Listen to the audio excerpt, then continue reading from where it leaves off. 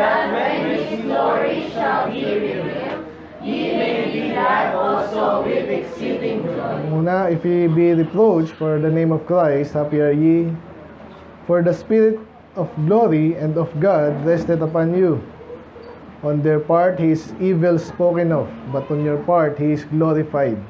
But let none of you suffer as a murderer, or as a thief, or as an evildoer, or as a busybody in other men's matters.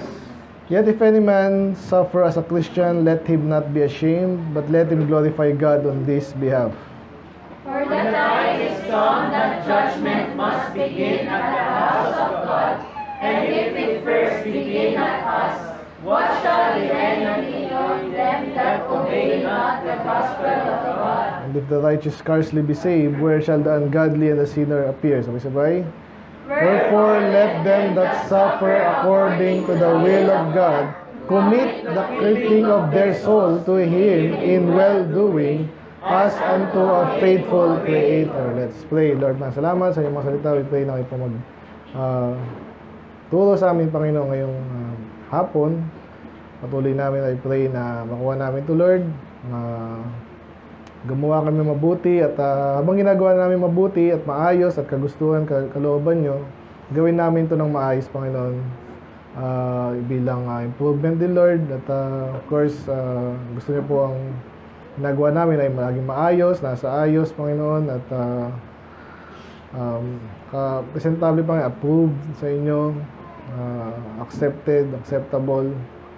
So, itong mga points dito, Lord, nakaintindihan namin na ito po ay makakatulong sa bawat isa. Therefore, dapat unawain at i-apply, Panginoon. Lang po, Lord, kayong maraming salamat sa bilang namin. Magbabalik, Panginoon. Kayo po malulati. In Jesus' name we pray.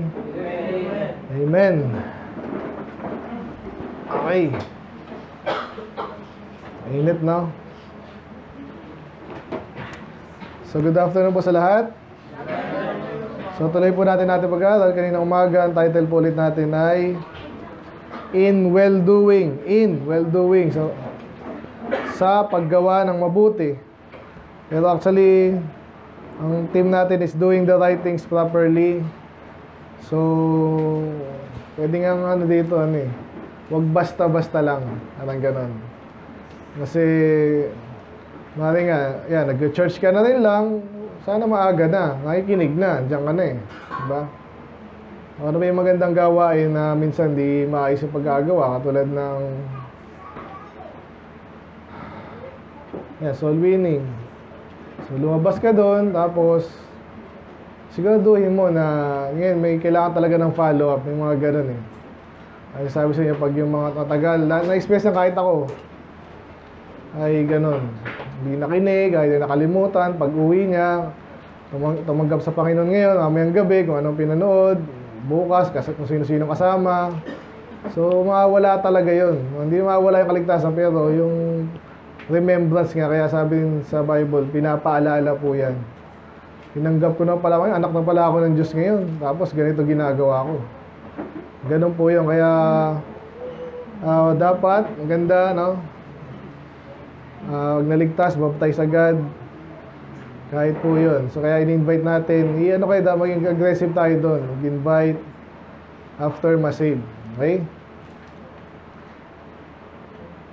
So kaya nga, ano ba yung mga example lang ginagawa natin mabuti? Kaso minsan, hindi nagawa na mabuti yan. Pag-awit, awit ka rin lang. Siguro yung mga datihan na, yan, ah, okay na to, okay na to. Tagal natin ginagawa to eh. So, lagi dapat maayos. Alam niyo yung kanta natin na ano? Kanta natin yung Our best, di ba? Yan, so gawin yung yung best nyo ibigay nyo. Okay? So, may additional pala ako doon. May sabi rin sa Colossians 3.23, and sabi doon, For, and what soever you do, do it heartily as unto the Lord and not unto men. Kasi, yun nga, madalas yun, kung saan dyan si boss, yan. Tsaka nagsisipag. Pag wala, wala na. Si nanay, yan dyan. Si pastor, yan dyan. Kaya nagsisipag. Pero pag nasa bahay na, Yung ba na ginagawa, di ba? So, ano pa, yung ano, ah, pag-aaral nyo. Hindi naman kayo mache-check lagi. Oh. Pero, internalize siya, bakit niyo inaaral to? Kaya nga ang gandang balas ako, ringit ako sa inyo kasi hindi ako lumaki sa church eh. Medyo ano na ako eh. College level na ako nung napunta ako sa church. So yung mga natatanggap yung pagpapala ngayon pagdating sa learning, mas kumpleto kayo, maaga kayong nailalagay sa, di ba? Pati uh, pagpaplano nyo, mapaplano nyo yan. Kasi bata pa kayo eh. So walang problemang change ng course habang wala pa kayo doon. Huwag naman kayo mag-change sa kalagitnaan. Magastos sa ano, pero kailangan, nasa inyo yan. Pero, ayun. So, gawin natin na maayos. So, again ha, malinang umaga,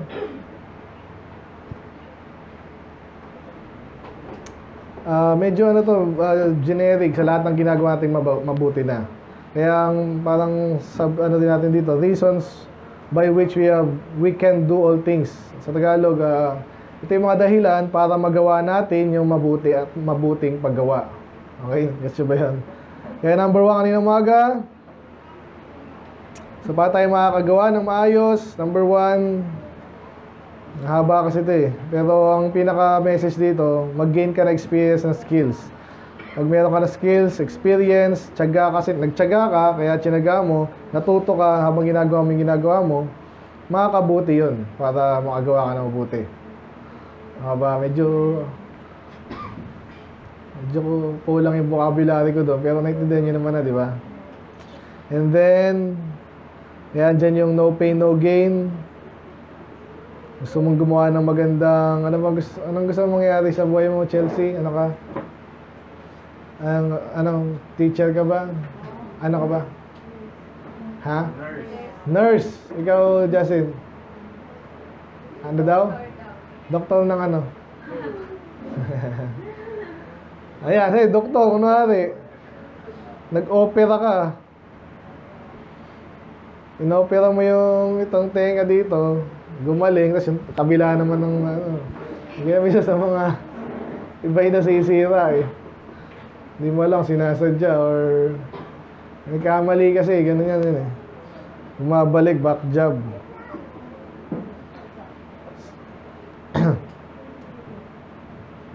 Yan, so kaya sa pag-aaral nyo, doon, doon na kayo mahirapan. And then sa experience, nagiging kayo mga first, 1, 2, 3 years, nagkatrabaho tayo. Kahit sa bahay, kahit sa pag-aaral, magbasa ng Bible, mahirap sa umpisa yan eh. Kasi bawat isang ano, ano ba to? Naiintindihan ko ba to? Intindihin mo, tsagain mo. Memory, memorization. Sa umpisa, mahirap, pero lagi sa si, kahit bata, kaya yan eh, di ba? Jared nga, bulol-bulol pa, pero nakuha.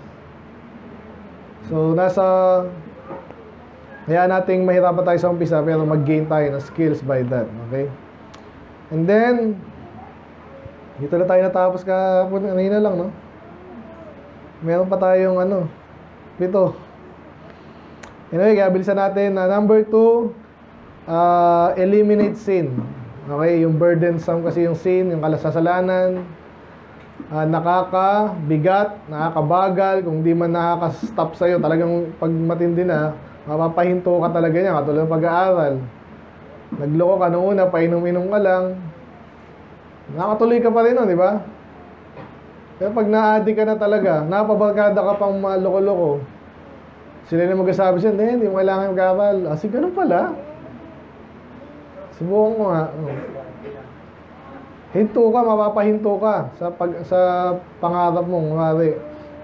Babawa na natin kunwari ang yung pangarap sa buhay at least makaahon man lang sa kahiraan mga ganun eh, di ba? Hindi naman ano yun eh, talagang okay okay din na goal yun, di ba? Huwag mo lang ano mababaw pa yun pero still mas maganda na yun kaysa naman walang pangarap, di ba? Ako na, yun ang pangarap mo sa buhay, makaahon sa kahirapan. Hindi nag-aaral ka ngayon. Ano ba yung mga kasalanan na yan? Madalas yung people nga, yung fornication, di ba? boyfriend, boyfriend na maaga. Eh gusto kong mag-aral eh. Sino mag-aaral sa, mag-aalaga sa bata ako na nabuntis ka ganyan? Di ba? Sakit sa ulo niyan. Oh, nasa na yung pangarap mo ngayon? Baliktad. Sabi nga nila parang pin, pin, ah, pinakpok mo yung bato. Parang yung bato, pinakpok mo sarili mo ulo. Sayang, nakapanghinayang. Tapos makikita mo yung mga kasabayan mo, si ate ganyan, si ano, si, si ano, si yung, yung uho, yung kaibi, yung kapitbahay namin uhugin dati, oh. Ngayon, ano na, doktor na, ano mo yan. Ay, inggit ka ngayon, eh, ikaw, ano nangyari? So, kasalanan, ihinto ka niyan, or kung di ka man pahinto, eh, pababagaling ka niyan. So, kaya number two, isa sa mga paraan para magawa mo ng mabuti yung dapat mong gawin, hanggat maaari, lahat ng kasalanan may identify mo, hinto mo na kung kaya. At kaya naman niya, kaya nga ah, ginagawa natin itong mga bagay na to. Tulungan din tayo ng Panginoon, okay? So, and then, kasama po dun actually yung may mga activities na hindi naman totally kasalanan, hindi napakasama, pero still, makamundo. So, iwasan na rin natin yun. Okay? So, number 3 na tayo. Sabi po sa 4, verse 4, balik tayo dito sa ating Which wherein they think it's strange that ye run. So, kinukwento agad ni Peter dito is uh, hindi exactly sa ating team, pero sa pool po yan eh. Uh, in-encourage niya po yung mga Krisyano at that time na gumawa nga rin ng mabuti, no? At uh, especially hindi ma-discourage. Itong part na to, sinasabi dyan, bakit daw yung ibang tao, para sa kanila, ikaw yung strange, parang weird. Punta-punta church, bakit? Ganun po yan eh. Diba? Kaya dapat maintindihan mo na hindi ka na naiintindihan. Tanggapin mo yon. At sabi doon, ano daw ginagawa nila? That ye not that ye run not with them to the same excess of riot. So sila ay uh, naggugulo at uh, kung ano nung uh, lokohang ginagawa, ikaw hindi ganon. At sabi diyan, dahil nga doon, pinagsasalitaan kanila ng masama. Ibig sabihin niyan is, yun nga, ayun, ang, ang, so, ang yabang mo naman, bakit Bible, Bible ka dyan? Diba? Napakabanal. Ginagawang masama yung mabuti, mabuti, masama. Anong gagawin mo doon? Who shall give account to him that is ready to judge the quick and the dead. So, sinasabi lang dito, ang Diyos ang mag-uusga later. Sa atin, sa kanila. Kaya ang point ko po dito sa ating team, paano natin magagawa yung ating dapat gawin? E samantalang ibang tao ay ang feeling sa atin weird. Feeling sa atin na kakaiba. Nilagay ko lang dito, know and perform the role you are called to. Sa Tagalog, dapat tanggapin mo na iba tayo sa kanila. Talagang iba naman talaga tayo sa kanila. Anak ng Diyos, hindi anak ng Diyos. Ang laki ng pagkakaiba nun. So may mga bagay silang hindi naintindihan. So again, hindi, hindi unfair yan. Kaya nga i-share naman natin sa kanila. Sila ang tatanggap or tatanggi. Okay, pero dapat maintindihan natin, magkaiba tayo sa kanila. Nga sabi dyan, no, para sa kanila strange tayo. Ano, ano mo strange doon na tinanggap ko lang si Jesus. Alam mo naman di ko iligtas sarili ko. Hindi naman ako buha sarili ko. Dito ko nakita sa Bible yung malinaw na purpose ng buhay ko. Eh, bakit naman, ba't weird, weird ba yun? Hindi naman eh. Para sa kanila. Kaya ang yun kaya point natin dito, alamin mo yung role mo sa buhay na to. Okay? And then, particular doon sa topic natin, ganun, paano ko magagawa yung dapat kong gawin? Dapat alam mo yung role mo rin, no? Kahit sa grupo yan, okay, pamilya na lang. Ano ka, lalaki ka ba, babae? Okay, walang iba ha. Kung bakla ka, panira ka agad. Wala, walang paglalagyan eh. Lalaki, babae lang sa amin. Okay, sa bahay, lalaki ka. Anong gagawin mo? Kaninang umaga, no? point natin, di ba? Ikaw yung provider, primary. Walang, may, walang masamang tumulong yung babae, pero hindi siya yung primary, ah, ano dyan. Hindi niya yung ah, primary role na mag-provide sa kapangailangan ng buong pamilya. Okay? Hindi siya tumulong sakaling ah, wala ka ngayon ah, para may ano, kaya pangdagdag. Di ba? Pero yung hindi niya obligasyon yun. Para naman, mapunan niya naman ako, babae ka naman, ano yung gagawin mo? Ano yung primary goal according to the Bible? Sabi doon, raise children, naturuan mo yung mga ano mo, ah, anak mo, and then meron ka ding keeper of the house, yan, sabi sa 1 Timothy ba yan? And then sa yung asawa mo, mahalin mo, yan sabi doon. Ah, submit to your husband. Yun ang trabaho ng babae. Na primary din, ha? Okay? So, pag di mo na perform yon medyo magkakaproblema talaga. Okay, ano pa? Sa, sa church. Yes, at trabaho mo na. Kaya gusto ko yung ginagawa sa school nyo, meron kayong mga group activity, ganun talaga yun eh, para malaman nyo kung saan ilalagay. Eh, paano yung talaga may magaling sa ganyan, may magaling sa ganito, ikaw hindi masyadong magaling pero doon sa, sa magaling na bagay. Anong gagawin? Pipilit mo ba yung sarili mo doon sa gusto mo lang pero hindi ka naman bagay? Kaya pinapapili pa lang kayo, bakit maraming strand? Ba't gusto ko magtayo ng kumpanya, alam ko lahat. Kaya mo ba? Kaya mo ba yon? Siyempre hindi, hindi ka magaling sa ibang bagay. Pwede namang aralin lahat ng bagay pero magpapagod ka nun. Masyado. Okay, yan ang pinaka-idea ng industrial, industrialization kung, naala, kung alam niyo yun. Kaya nung na-discover yan, nag-boom po yung economy ng buong mundo. Hindi, yung place lang kung saan yun na unang na-apply. Okay? So, na-discover nila, mas maganda pala na focus ka sa isang bagay. Kung magaling ka dito, yung isa hindi marunong dyan, dyan ka lang, dun lang siya. And then, paramihin nyo lang, may proseso lang kayo, ang bilis. At ah, mas safe, mas ah, maayos. Okay? So, ganun na ganun yung, ayan, ano, ito sinasabi dito, eh, dapat alam mo kung saan ka lalagay. So, sa church na tayo, ganun din. Okay, meron kang kalalagyan dyan, perform mo lang sa umpisa, karamihan actually sa church naman. Ah, ganun lang, yung pastor, may deacon, and then member. So marami, yan, salamat yung nagluluto, naglalaro, ano man ganon. Taga, ano, taga dumi. Wala namang ganon. Obviously, mga bata, okay yan, pero as you grow up, nakikita mo yung place mo, dapat. Sa mundo, sa church, sa pamilya. So perform mo yan, wag mo yung ah, i-deny. Di ba? Nabanggit yan kanina umaga, yung tithes, di ba? Sila na lang bigay, ako hindi. Hindi ba yun?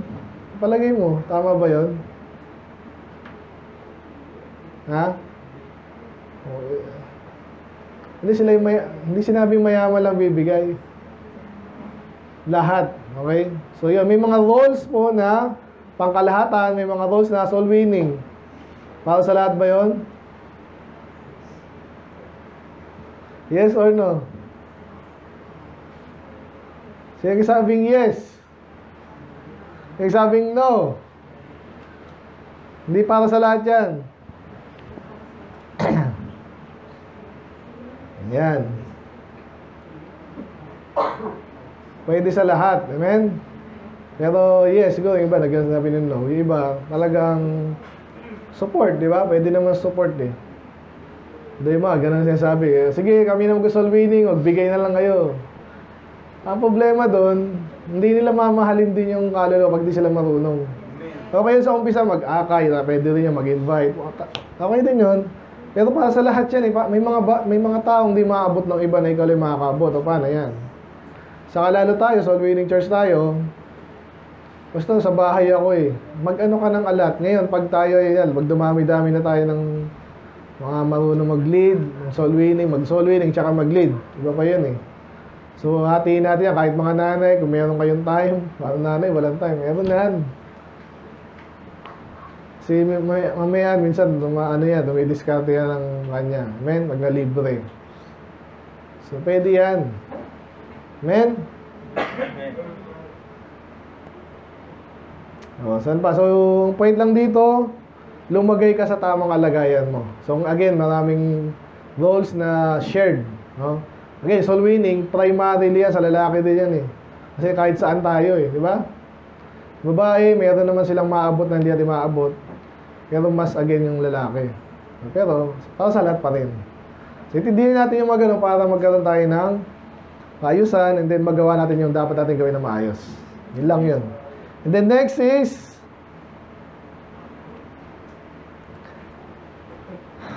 So verse 6, 7. For this cause was the gospel preached also to them that are dead, that, that they might be judged according to men in the flesh, but according but live according to God in the Spirit, but the end of all things is at hand. Be ye therefore sober and watch unto prayer. So again, ito yung advice ni Peter. Yung turo niya. Pero uh, yung merong kinalaman sa ating uh, topic ngayon. Ano sinasabi niya na pwede natin consider, dapat natin consider? Bakit dapat maayos ang gawa? Para? Tama. Eh, ah, tama yun actually. Para ma... Kasi, alin ang malapit na? Pagdating, yung generic dyan is yung judgment. Okay, kaya point natin, number four, we will be judged by the works that we do. Di ba kahit saan yan, totoo yan, mag, may project, o gawin nyo yan. Ginawa nyo, hindi na chinek. Ano yun? Di ba? Check mo, check ng teacher yan, maganda ba, pangit, mali. Alam niyo ba, ganun lahat ng gagawin natin? Hindi makapaglinisan mo nga to, oh, nalinis ko na raw. Huwag mo na i-check. Lalo sa amin, ganun. Sa amin talagang sisihan niya pag nagkamali. Nagkamali yung gumawa, ba't di mo chinik? Eh, ginawa niya siya, nakagawa nun, i-check mo rin, ganun. Ganun nga, may validation na tinatawag. Okay? Tama ba yung ginawa niya? Malay ko sa kanya. Hindi, check mo nga eh. Iba pa yun, lalo na yung tinatawag ditong judge, ang judge, pinaka-judge ang Diyos. Ang magulang mo, ganun din, pag inutusan ka, bakit mo dapat gawin na maayos? Kasi titingnan yun, pag hindi maayos, ano, ano mo ang ihaharap mo? Nakita niyo ba yun? Kaya huwag kayong magagalit, normal lang yun. Pag pinagawa kayo, i-criti- hindi criticize yun, inasabi nga sa'yo para next time maayos mong gagawin. Kahit ano yan, maglinis, mag-ayos. Ayos ba talaga to? Tinesting mo. O, Sige. Hindi naman eh. Ang kaya kulang. Okay, sasakyan mo yan, kahit ano yan. Huhusgahan tayo. At ano ano yung sabihin ng husgahan? Maayos bang gumawa to? Diba? Yan, yan, soul winning na lang yan. Hindi ko ma-check yan eh. Doon isa na-check natin. Totoo ba to? Diba? So, gawin natin na maayos kasi lalo na ang pinakahuling mag-check dyan ng Diyos, alam niya lahat eh. Si Pastor di alam eh. Baka naglista ka lang ng pangalan dyan, pinicturean mo lang yung ano. Di ba? Pwede yun eh. Hindi maganda. Lahat ng bagay, husgahan ka. At ang gusto mo, parang kanya, may usapan ng promotion, ganyan. Kaya mas maraming sweldo, ano man yan. Ang magandang customer, maraming customer. Alam mo yun, dapat na check ka. Hindi yung gawa ka lang ng gawa. Okay, so medyo generic yun, pero tandaan natin yun para makabuti tayo ng gawa. Consider mo, i-check ka, i-judge ka, gawin mo na lang mabuti. Amen? And then to, medyo generic din to. Sabi dyan, And above all things, have fervent charity among yourselves. For charity shall cover the multitude of sins. Ano dapat natin gawin? Para maganda ang gawa, trabaho, ministry, gawin mo yun ng may pag-ibig, no? pagmamahal. Kahit again, lagi minasakit ni Pastor yan. Naglilinis ka lang dyan. yung ginamit mong basa, mas madumi pa doon sa ano. O di lalong dumumi. Alam pa kayo may nag-ano na ako, naglinis na nga ako eh. May mga ganyan pagbaguhan, di ba? O yan, nag, uh, ka na sa sakyan. O yan, nag-drive naman ako eh. Kaso, bara-bara naman, baka nabangga pa yan. Di sayang lang. Di ba? Yan, naglinis ng upuan. Ano pang gamit natin dito? Aircon. Nilaro mo pa yan. Di ba? Yan, yan, yan. Pinakawawa dito yung mga electric fan eh. Pag nag-agawan na kayo. Plastic, plastic lang po yan. Ingatan natin. Okay, pasok na tayo sa, yan, sa, sa, sa ating sarili, no? Bawat isa sa atin dito, mga tao, may hindi lang feelings. Meron niyang mga, minsan may fragile din dyan eh. Amen? So, never nating hindi ko consider yung ano nila, kalalagyan nila, katayuan nila. Okay, maayos dapat ang pagtrato natin sa bawat isa. Amen? Yeah, sa love life, ganun din. Kaya nabanggit lagi, di ba? Ang sabi nila, yan, kaya pag tawag dyan, broken hearted, ano sabi nila? So, hindi mo iningatan ng puso ko, mga ganun eh. Gusto ko na natin napaka-OA na ng iba, pero may katotohanan din yun. Kasi tao yan, tapos tatatuhin mong trapo. trapo. Ang tawag nila doon, basahan. Kasi wala kang, hindi ka maayos gumawa, hindi ka maayos, ano, gumawa ng mabuti. Mabalik tayo sa gawain mabuti natin, yan. soul winning nga, ayos. Nag-soul winning ka, pinatanggap mo, basta, hindi naman naintindihan. Sa palagi, malililigtas ba yun, hindi naintindihan? Eh, basta nag-pray naman eh. Lagi sinasabi, faith yan eh. Yung faith, meron yung object. Yung object dapat totoo, naintindihan. Hindi basta nag-pray, mga bata, pray ng pray yan eh. Parang uto-uto minsan. Di ba? Ang bata, in a way, madali, in a way, mahirap yan. I-win. Kasi kailangan niyang intindihin. Kaya ikaw, kung soul winner ka, ikaw yung intindihin mo yung dapat niyong paintindi sa kanya. Intindihan niyo ba yan? Na basic lang naman yan. Alam mo yung kasalanan. Oh, hindi dapat yung galit ang Diyos dyan. Oh, anong gagawin natin dyan? Wala tayong magagawa dyan, pero si Jesus ay namatay para sa atin. Oh, ganun ba? Hmm. Hayaan mo siyang ano, kang- huwag kang parang robot lang, parot ka ba? Minsan, ang dali kasi pag ganun eh, maulit-ulit ka na lang. Imagine nyo, by the way, sa preaching lalo na, men, iba natututo na. Hmm. Pero, again, hindi mo yan ma... Sabihin ko? Minsan, ako naaasar ako pag nakikita ko mga gaya-gaya. Diba, alam niyo yun? Ah, Catholic. ah. Nag, nagagaya nila yung ibang ano eh, tama rin eh.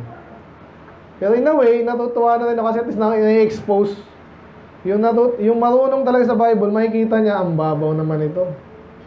Nakikita mo. Okay? So may example tayo ngayon. Unlike wala, no? Pero yun nga, eh, sana, eh, wala namang perfect sa lupa pa. Pero pag nakikita yung mali yung iba, alamin nyo rin yung dahilan doon. Okay, medyo na... pero, ang basic lang dito, gawin mo yung bagay na may pag-ibig. Magiging maganda yan. Very basic eh. Kasi nga, pag mahal mo, kaluluwa, paliwanag mo sa kanya. Hindi yung... Ang pakialam dito kung sa impyerno to o hindi eh. Gusto ko lang ah, sikat ako kasi soul winner ako. Mga ganun ba? Nangyayari po yun. Yung iniiwasan natin. Amen. Hindi naman nila alam eh. Alam naman ng Diyos. Men? Medyo basic to pero actually kuha niya lahat eh. Gawin mo na yung pag-ibig. Okay, sige, tuloy ko lang. Marami pa kasi. Pero sabi din pala dyan ha, use use hospitality one to another without grudging. So, isa sa mga bago ko makalimutan, yan. Paano mo sabing may pag-ibig yung ginagawa niya? Paano? Ha? Malasakit, tama yon. Ito, may clue dito. Alam nyo kahit ano yan, nag, yan, nagluto ka ng ano. Sampurado ko naman yan. Pag medyo walang pag, bahala na dito ay. Kung di masarap pa, mukhang natapon na yung ano. Ano nangyari dyan? Ayusin mo yung pagmahal mo yung paglilingkuran mo. Ano pa? Naisip ko yung mga mga nasa service sector, di ba? Ano yung mga service sector? Basically lahat eh. Teacher ka. Nagturo ka, pumasok ka, nagpa-exam ka, natuto ng konti yung iba, tapos, ano? Ano yung grudging? May sama ng loob, di ba? O yung na, natin, ganda to eh. Naalala ko lang yung pelikulang The Grudge eh. Kaya siguro ginawang pelikula yun. Hindi kasi maganda yung Grudge. Yan ay, ito pala eh. Nakakuha natin ng ano. The Grudge.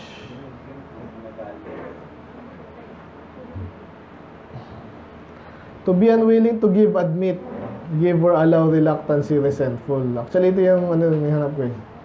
Ito, ito, ito. A feeling of deep-seated resentment or ill will. Katulad nga niya, kunwari, nagsiserve ka naman ng pagkain. Ay, syempre, napakahalaga yan sa tao pagkain, di ba? Tapos hindi mo gagawin na maayos. Ay, lalagyan mo ng kung ano. Kaya galit ka. Kaya po yung sa mga magandang restaurant, ganun po yung kasama lahat yun eh, sa experience nila. Dapat nakangiti yung nag-serve, maayos. Kasi kung duda ka sa nag-serve sa'yo pagkain yun, paano yan? Di ba? Kunwari, may reklamo sa sweldo niya kung ano gano'n. Gano'n naman yun eh. Diba, hindi maayos yung service na gagawin mo. Ngayon, gutom ka talaga, wala kang pakialam, walang problema. Pero hindi nga maganda. Okay? Ganon din sa, ayan, lalo mag-asawa kayo, ganon din. Sige, service na lang ng pagkain din. O, anong gagawin mo para maayos? Kung wala kang pag-ibig doon, basta lang makakain. Basta lang. Prito lagi kasi madali. Tapos. Hindi ko nag-isip, ano ba yung lulusog yung mga anak ko? Ano kaya? Hindi ka na nag-isip. Mahal mo yun. Gusto mo mamatay na maaga. Magkasakit. Dahil lang di ka, di ba? At yung iba, ang ganda pag lalo sa pagkain na naman. Iba nag-iisip pa. Baka nagsasawa na si, ano, si Habi sa aking, ano, luto. So, sasarapan pa yun. Kasi nga may pag-ibig eh. Amen. Amen? At hindi bubulong-bulong pa yun. Yun pala yung grudge sa mga manifestation ng grudge, di ba? Bubulong-bulong pa. O, yan na! ano kayo? Ano yung nakainin? Ano ba? Di ba? Amen. Dinabog.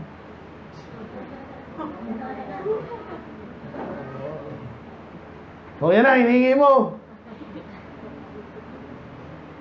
Binigay naman na, kaso walang ano eh. Walang pag-ibig ba? Ang pangit, lalo po sa, gusto kong sabihin mo, matiga ko na malagpasan to. Sa atin po yan, kasi ginagawa na nga natin yung tama, di ba? Nag-aakay ka na, winning. Dito tayo, ginagawa mo ng mabuti yung... Minsan kasi nagmamanifest nga yung, yung sabi natin galit, di ba? Katulad ng may pinag... ano bang, ano, ano bang service na ginagawa nyo? Ngayon, nagpapakanta ka siguro. Ano yung example ng may grudge dyan?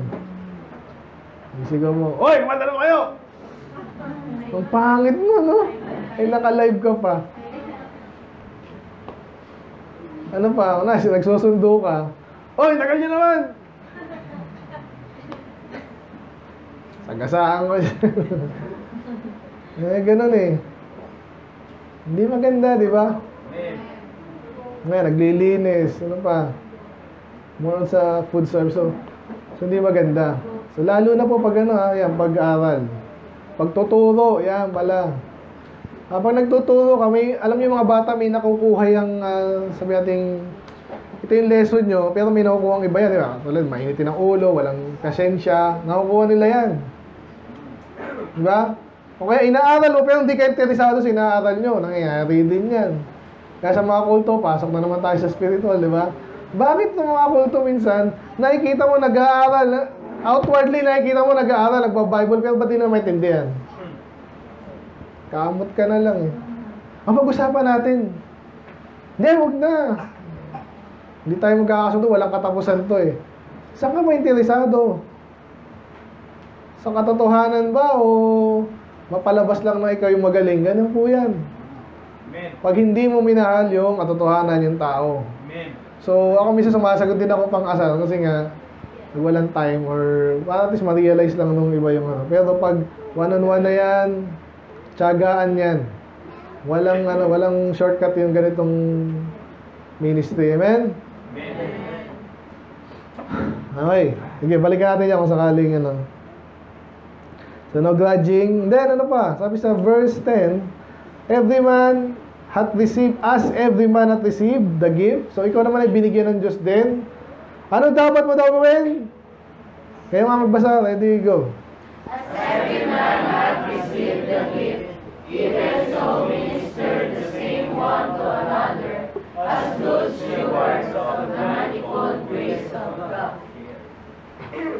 So, paano tayo gagawa ng mabuti?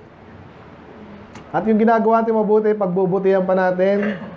According to this verse, as good stewards. No? Alam mo yung katiwala, yung iba dyan, kaya ang hirap kasi minsan pagbata pa, no? Pero ah, nakakita ba kayo ng ano, yung talagang maaasahang ano, servant?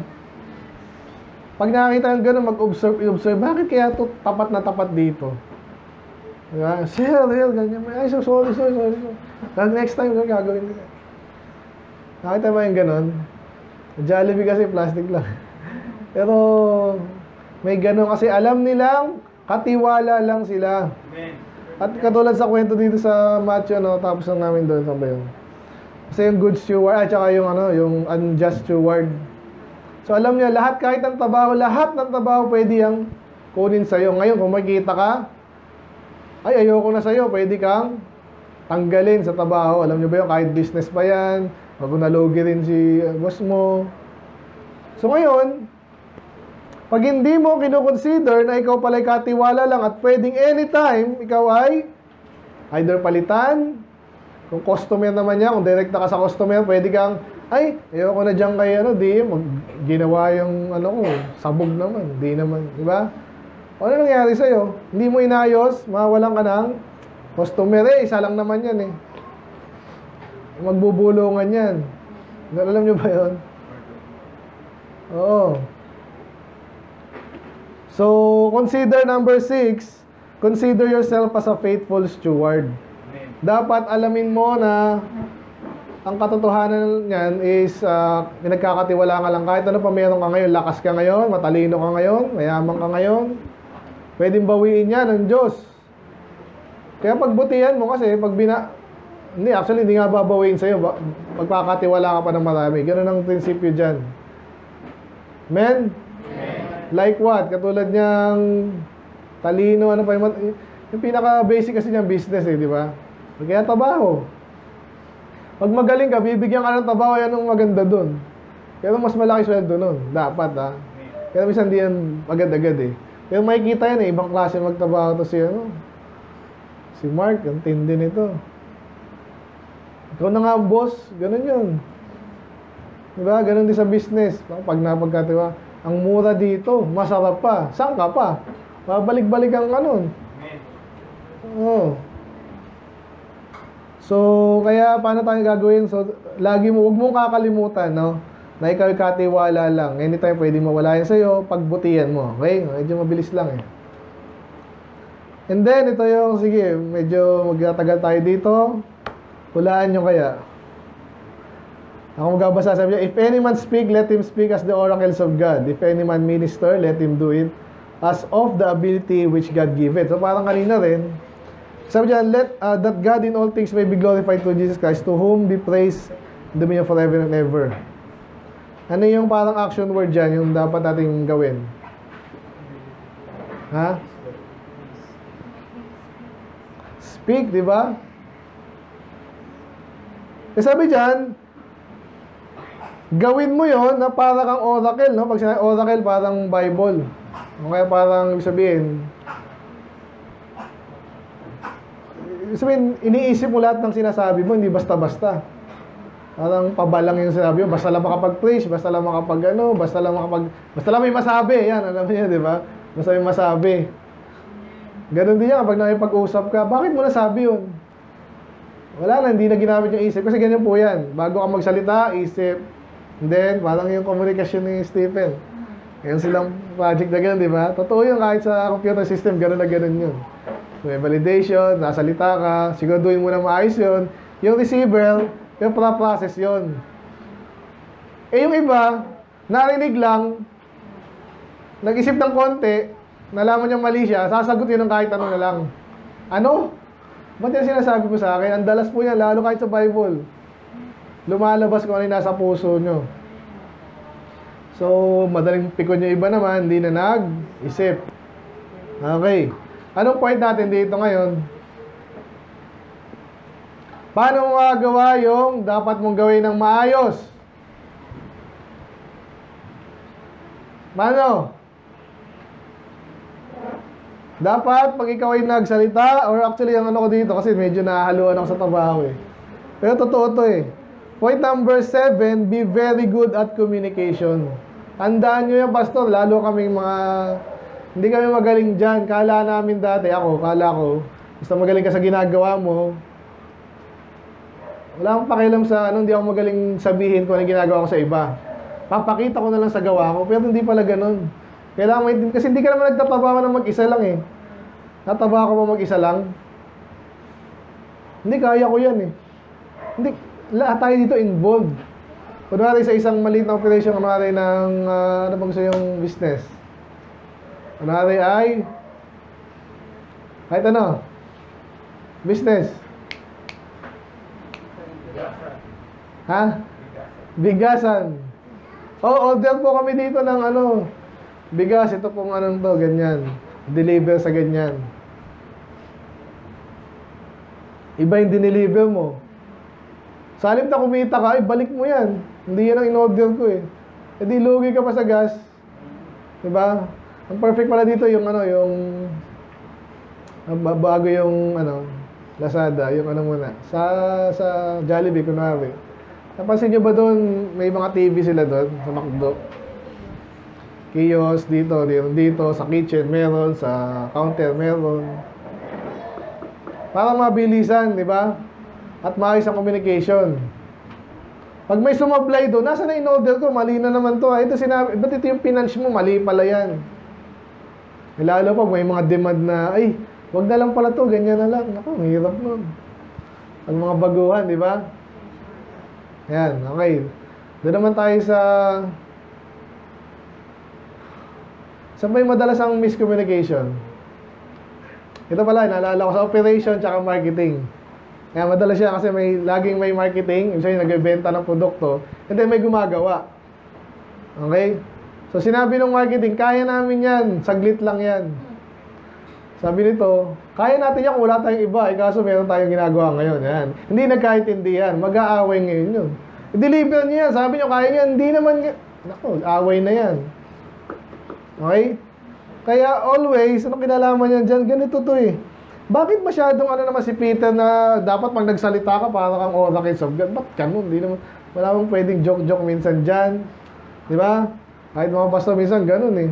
Basta natawa sila, okay na yun. Hindi ganun. Kaya especially sa atin, pansinin nyo, pansinin yung mga inaaral natin dito at particular tayo masyado, di ba? Hindi ako yung tipong maka-preach lang, ginaya ko lang yung preaching na ganyan. Hindi ko kinostom fit sa kung sino yung mga andito. Kaya kinikilala ko yung lahat, hanggat maaari. Ngayon, yung ibang di nakikinig talaga, alam ko rin yun. Minsan, gusto kong maabot, minsan ayaw. Eh, uunahin ko na itong mga nakikinig. Okay? So, pero minsan, inaabot ko rin yung iba kasi nga, kailangan, ano tayo eh. Makinabang tayo para kumakain. Iba, vegetarian. May mga ganun eh. Na magluluto ka ngayon ng kayang kainin ng karamihan. Ganyan yan eh. So, napaka-crucial po nito. Miscommunication, pag nagka-miscommunication, away. Pag nagkaroon ng away, hindi nyo lalo magagawa yung dapat yung gawin. At marami, pag mahina yung organization, break yan, stop yan, dissolve yan. Yung mga ganun. Sa bahay, ganun din. Pag yung nanay, tatay mo, hindi nagkakasundo, yung mga anak, ma maano rin yan, puro kalokohan lang, anong mangyari, bahala na. Ganyan po yung karamihan. Kaya may napansin ako, puro kalokohan, kawawa naman to. Kaya iniisip ko, sana maturuan to. Kaso di rin nakikinig, wala, yun. Amen? Makita niyo yung ano, communication ni Stephen? Receiver, sender, ano ba yun? Sender, receiver. Nag-send naman to, ito hindi tinatanggap. Parang computer system, ganyan mo, tapos problema namin eh. Uusapan natin, mag-uusap to ha. Tapos may usapan pa yun, dapat mag-respond ka, dapat sabihin mo na tanggap mo. Eh minsan, pag yung network na buputol, luma- alam yun na, maraming dahilan. Ganon din minsan, anak natin, in-instruct mo ng maayos. Alas 5, nakasain ka na, kasi alas 6, alis tayo para nakakain na tayo. Simpleng instruction, di ba? Eh, naglalaro. Pag naglalaro ka, yung oras sa'yo, parang ang bilis eh. Mamaya na. Ah, ano pala? Naku, away na naman yun.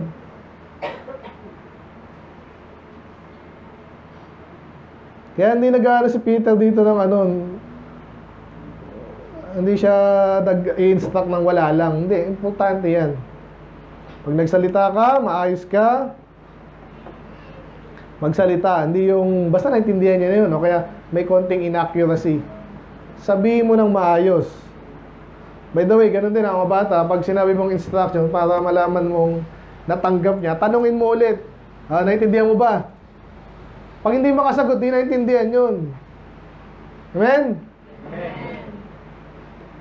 Mga simpleng yung style lang yan, pero kailangan maintindihan natin yun. At again, ha, ang pinaka talaga ditong speak as the oracles of God, ah, totoo. Hindi nagsalita ka lang para mangyari yung gusto mong mangyari lang. Hindi lahat, hindi lahat, if, ano yun eh, applicable yun. Minsan, iba-ibang tao, iba-iba yung approach. Okay, so ang hirap ng pastor talaga, kaya nga nasa, sa church masanay kayo niya kung nakikinig kayo. Kung napapansin niyo, even dito, nag-preach dito, ang bilis niya, iniisip ko kung natang- niyo ba, naintindihan ba nito, ito, hindi, may masa- masyado masakit, masyado malabo, masyado mabilis, masyado malalim, masyado... Woo! Kaya niyo yun? Multitasking. Validate agad. Kaya niyo yan. So, communication. Ulitin ko lang ha. So far, number one, paano tayo makagawa ng mabuti? So, mag-develop tayo ng skills. Mag-suffer tayo. Kailangan mag-suffer. Tanggapin na nag-suffer ah, sa ser- service. Okay? And then, number two, eliminate sin. Number three, know and perform the role you are called to.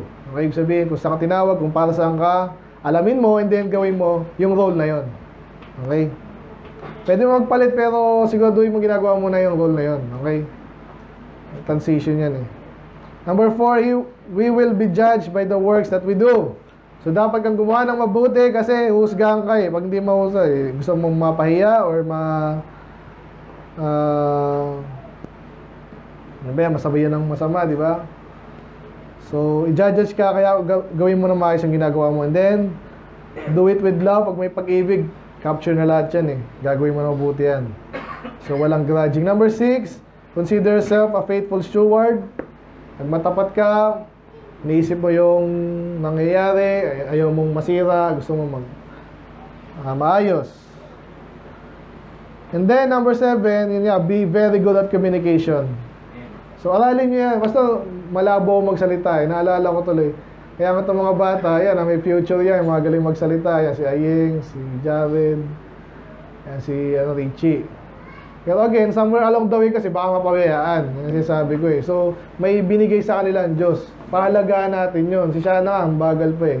Pero inaalala na namin. Ganun lang talaga yung bata anak mo yan eh. So, yun yun. So, Bidoy, again, ako, alam niyo na yung aking testimony, di ba? So, para akong mahihain din, para akong si Joshua. Ganun ako dati. Halos, hindi yung totally kami.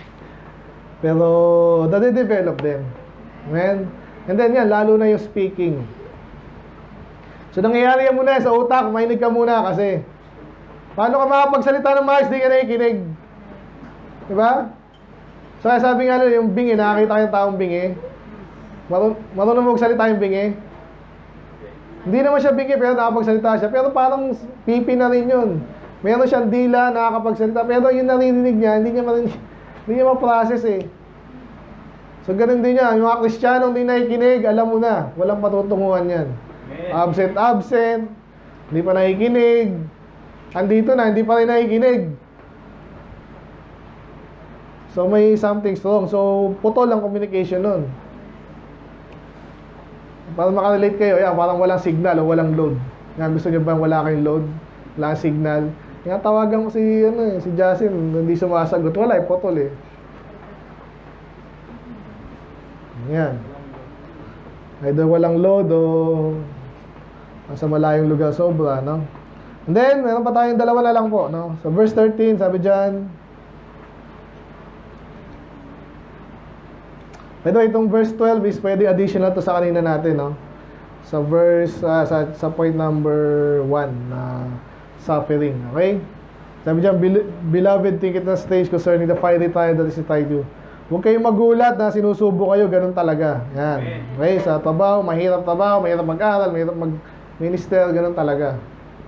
Anyway, sa move on tayo sa 13, sabi dyan, But rejoice in as much as you are partakers of Christ's suffering, that when your glory shall be revealed, when His glory shall be revealed, yung pag bumalik siya, makikita si Jesus, wow! Binabasto siya ng iba. Kanina, kaninang umaga, pinapalo siya. Later, siya pa yung maghahari. Sino yung magiging masaya doon? Yung mga walang pakialam kay Jesus? Siyempre hindi. Yung, mag- yung matutuwa doon, yes! Andito na! Maghahari na si Jesus. Tapos kayo ngayon, mga bak- sino man yan, mga loko-loko dyan. So, anong point dito?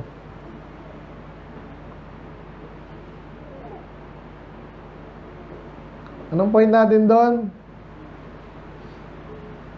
Then, additional sa 17, sabi dyan, For the time is come, the judgment must begin in the house of God. Sorry, ano pala to? Sa point number 4. Sorry, sorry. Wala ako dun ha. Ano yung point number 4? We will be judged by our works. Okay? Add lang natin to ha. Ayan o, husgahan tayo. At even mga Kristiyano, house of God, mga ligtas po yan. Okay, husgahan lahat. Pero yung mga anak ng Diyos, siyempre, langit na yan. Pero, sa rewards yun, rewarding system. Amen. So, husgahan ka, gawin mo na yung mabuti. Anyway, tuloy ako sa kaninang point. Point number 8. Yun na pala yun, 13, no? And 14 actually.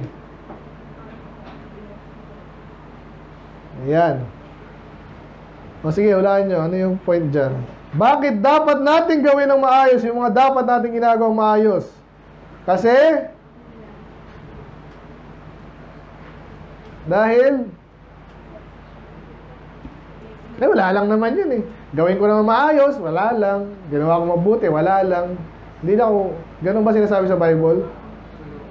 Anong pagkakaiba ng maayos ang gawa, maayos ang trabaho, sa hindi maayos, hindi masyado? Hindi satis, sinong hindi satisfied? Yung, yung gumawa, yung judge. Yung team natin ngayon sa anniversary. Ano yan? Rewards, di ba? Ito, hindi tayo makaka-relate, eh, di ba? Ba't ko magbubutihan niya? Magkano ba sweldo niyan? Di ba? Ganon. Kaya magkano makikitain ko niyan? Yan. Walang masama doon.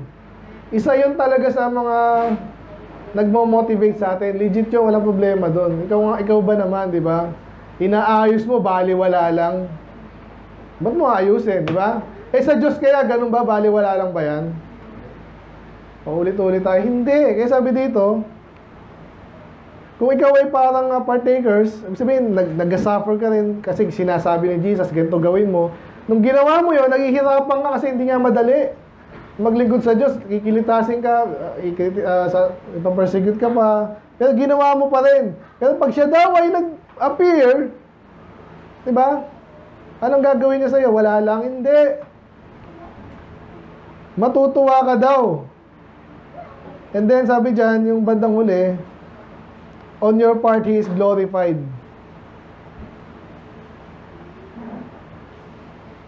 So pagdating niya, anong gagawin sa matapat niyang mga lingkod? Wala lang, hindi wala lang. Kaya sabi niya, magiging masaya ka kasi may reward ka. Amen? Kaya number 8, consider the reward. Ganyan po yan. Alam mo na ang Diyos ay mayaman sa lahat, mabuti sa lahat, pata sa lahat. Kaya hindi ko ayusin. Hindi, matay ka dun. Kung maayos siyang mag-reward at mag-reward siya, sa kanya lahat, ayusin mo na yung gagawin mo, di ba? Kung paano mo ginagawa yung ginagawa mo. Kailangan siya sabi, gagawa ka na rin lang, gawin mo na na maayos. Gandong ka na eh. Makikinig ka na lang, babasa ka na lang, mag-pray ka na lang. Mag, uh, mag-minister ka na lang, mag-aayos ka, magluluto kung ano man niya, ayusin mo na. Kasi, ang may reward talaga yung maayos gumawa. Amen? Very straightforward yun, no? Basta may kilala ako. Kaya yung komunista, saan nasa tayo dyan eh. Doon ngayon, yung mga komunista ngayon, ginagaya na nila yung ano eh. Ina-modify lang nila. Yung mga komunista na itira ngayon sa China, ano na lang eh, yung, yung in-adapt na lang nila yung central totalitarian government. Pero iba, meron na rin rewarding system sila. Kasi nga, hindi, hindi obra yun eh.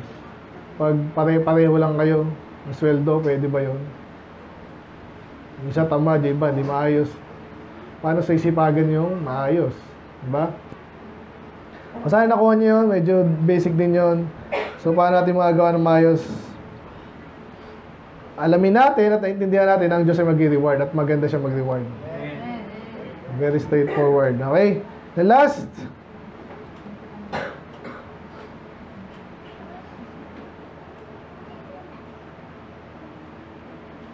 Wherefore, let them that suffer according to the will of God commit the keeping of their souls to Him in well-doing, as unto a faithful Creator. Diyan tinakuha yung ating title, no? In well-doing. Again, ang pinaka-team talaga natin yung kasi gumagawa na tayo eh. Kailangan na lang natin gawin ng maayos. Maramihan sa atin yung ganun. Yung iba, hindi pa eh.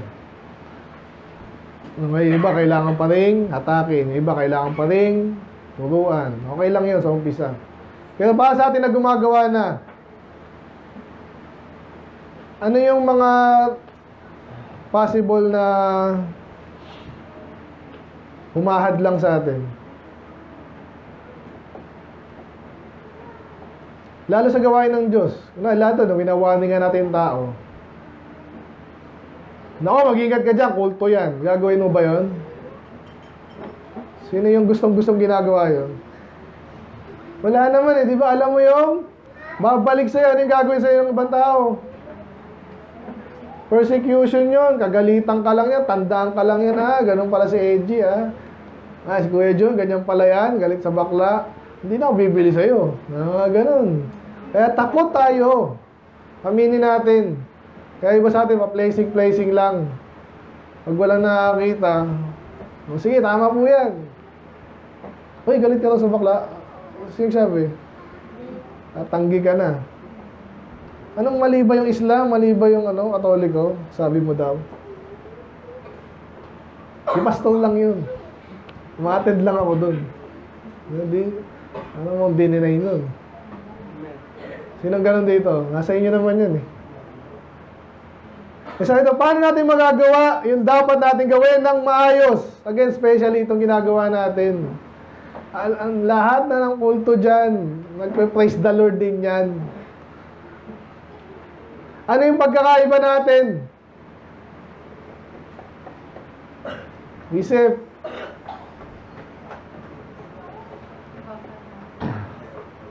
Ha? Buffer natin. Ano? Ano yung magkakaiba natin? Yung talagang distinctive na... Kasi lahat yan nakiki-Bible din eh. Bible kayo, Bible din kami. Yung ramdam mo talaga iba sa atin, sa Baptist. Bukod sa soul winning, tama yun. Sa preaching natin, ano iba sa ibang iba sa sa kanila? Ha? Pure. Authority.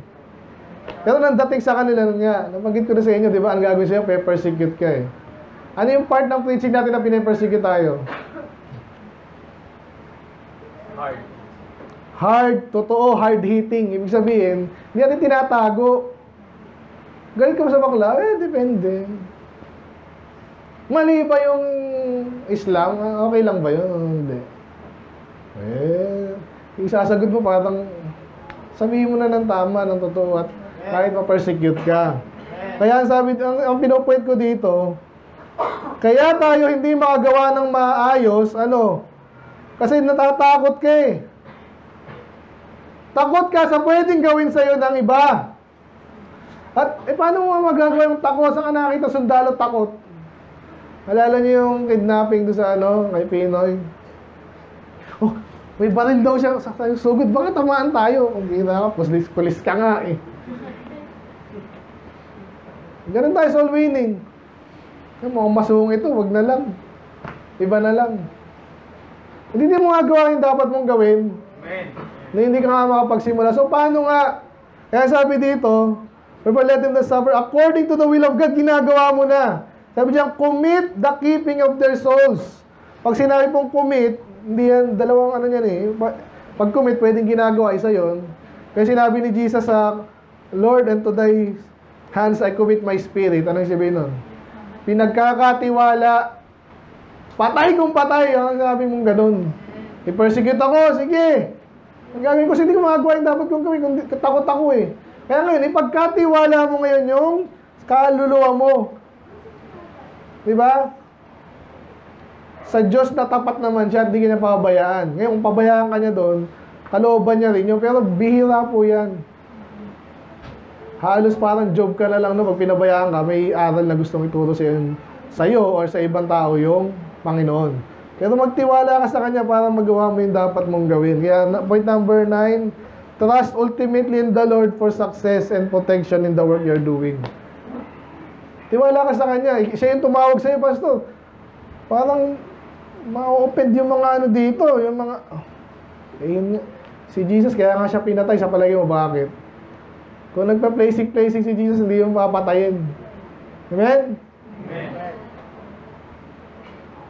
So, magtiwala tayo sa Kanya. Giting ko lang ha. Eh, Pastor, di pag pinatay tayo, di lalo hindi natin ginawa yung ginawa. Ginawa mo na yung dapat mong gawin. Lalo pag ginawa nila sa iyo yun dahil ginawa mo yung kalooban ng Diyos. Ibig sabihin, tapos ka na sa dapat mong gawin. Yun lang yun. At langit ka na, ano pang nakatakot mo? Men? Ang nahihirapang... Ano na ba kayo? Ulitin ko na lang. Number one, para magawa natin dapat natin gawin, in well-doing, ah, tanggapin natin na may, alam mo na, suffering sa paggawa niyan, pero mag-suffer ka lang. Mag-gain ka ng ah, skills and experience para magawa mo ng maayos. Number two is, eliminate sin. Number three is, know and perform your role that you're called to. Number four, kasi alam mo na we will be judged according to the works we do. So, gawin mo na mabuti. Do it with love. Consider yourself a faithful steward. Be very good at communication. Consider the reward. And then ultimately, trust the Lord for the success and protection of your what you're doing. Alam niyo na kung paano gumawa mabuti? Madami pa actually yan, pero hindi ko nabanggit kanina. Yan, sa church na lang, bago ko tapusin, lahat ng ginagawa niyo dito nakaka-apekto sa iba. Pag nakitang tamad ka, may ginawa kang mali. So obviously, di natin ninaano yan, pero makikita at makikita yan, nakakatisod yan. Yung baliktad naman, kung positive, ah, nagisi, masipag si Brad, oh. hindi nagre-reklamo, magandang patutunon, makakadagdag yun para sa iba. Amen? Makaka-encourage sila, gagawa rin sila ng mabuti. At ikaw yung dahilan, di ba? Ang ganda nun. Hindi ikaw yung dahilan. Bakit ka ba nag-fornicate? Kasi si ganyan, ganyan din eh. Ba't ang tamad mo eh? Si ano, tamad din eh. Amen? Let's pray, Lord. Maraming salamat sa inyong mga salita. Again, na medyo basic ang aming topic, but I pray na kami na po nakakalam na may ginagawa na kami. Salamat uh, sa privilege na andito kami. Naglilingkod sa inyo, but I pray uh, encourage yung bawat isa, turuan, at uh, gabayan din, protektahan, Panginoon. Hindi naman talaga yun. Minsan ay talagang may takot dahil uh, may experiences kami, Panginoon, na sinubok din kami. And therefore, di namin nagagawa na mabuti ang dapat namin gawin. So, bukod pa yung talagang kulang pa kami sa skills, kulang pa sa ano, knowledge. At Panginoon, tulungan po kami, Lord. Ah, ang buhay naman namin ay hopefully mahaba pa, may pagkakataon na maglingkod, ng maayos. Tulungan po bawat isa. Ah, di- dito kami mag-upisa, of course, ah, pag-attend, mag- makikinig, mag-isip, meditate sa salita, gawin ito, Lord, subukan, ulitin, and everything, Panginoon. So, kailangan namin, Panginoon, kayo po ay tulungan kami. At, yun po, Lord, ano yung kailangan po spiritually, provide niyo sa aming church, may ibang bagay din, Panginoon. Ba na discourage uh, magkaroon ng encouragement sa salita, hindi na yun, bigyan sila ng mga break din po, Panginoon, pag kailangan. at masumpungan namin kayo tapat, at kayo po may control sa aming bukas, Panginoon. Kailangan po, Lord, again, kayo po magpala sa another week. Uh, naisalamat sa aming bilang, Panginoon. Yung mga gusto mabaptize, Panginoon. I pray Ah, sumunod po sila Lord sa inyong kalooban. Kaya din po ay nagbabalik loob, Panginoon, nawa ay Luwi nila, Panginoon, ikumpara nila ano yung dapat nilang ginagawa sa hindi. Bawat sa amin, Panginoon, again, yung lahat ng paglilingkod namin, kayo lang nakakalam.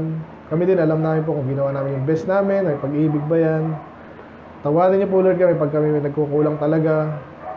At ah, tulungan na lang po, Lord. Turuan din po, Lord, kung ano yung kailangan gawin, pakusang, papalo minsan.